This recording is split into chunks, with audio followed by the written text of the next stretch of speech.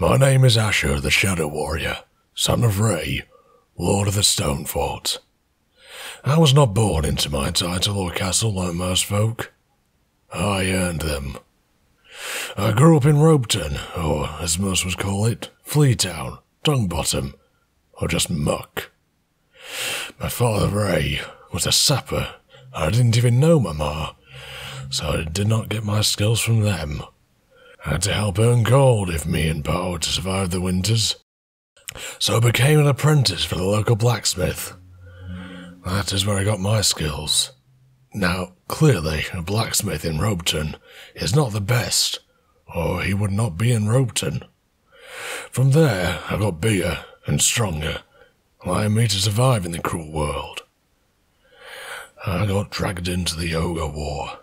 Survived, obviously, I did not do anything great during the war. I was not the one to kill the Ogre King or anything rewarding. Years later, the Ogre King, Kraith the Cruel, returned. Big surprise for everyone, seeing as they thought he was dead.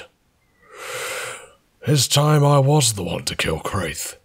I was part of a small squad on a stealth mission into the castle, and I was the only member to return alive. The leader of the group was Grove, the King's Guard. He hated my guts, and that was the only reason he chose me. There were thirteen of us in total. I should have seen that as foreshadowing. Not all of them were scum like Grove. Some were, some were not. A few were doing it for the gold, a few for their families. A couple just wanted a story to impress their local tavern wench. One just wanted a night with the princess. the good part is, one of the ogres swallowed him whole. Grove was able to kill a couple before getting his foot crushed. He knew he would not last long after that, so he took out as many as he could. His distraction allowed the members who were left to sneak into the throne room. Once Kraith was dead, the rest of the ogres ran for the mountains. I saved the realm and every soul in it. You've probably heard this story before. Brave knight defeats evil. Knight gets princess. Knight lives happily ever after. But what if you were unable to do that? I never wanted the princess, why would I? I never met her before.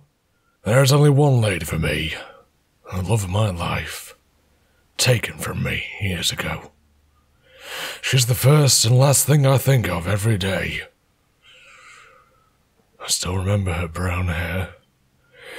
The only reason I became Khan's apprentice was because she had to walk past the store to get to her job. I did extra long hours so I could see her twice a day. So, what should you do after you save the realm? No wife, no children, no happy ending in sight. You have spent so long trying to achieve greatness that once you achieve that, you.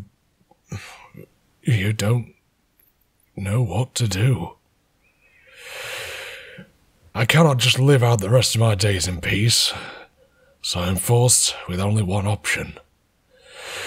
I keep going on quest after quest, so I can have a purpose in life. I'm not going to die of old age. I will be able to see my love soon, when one of these quests finally beats me. Still, that's the price of a hero.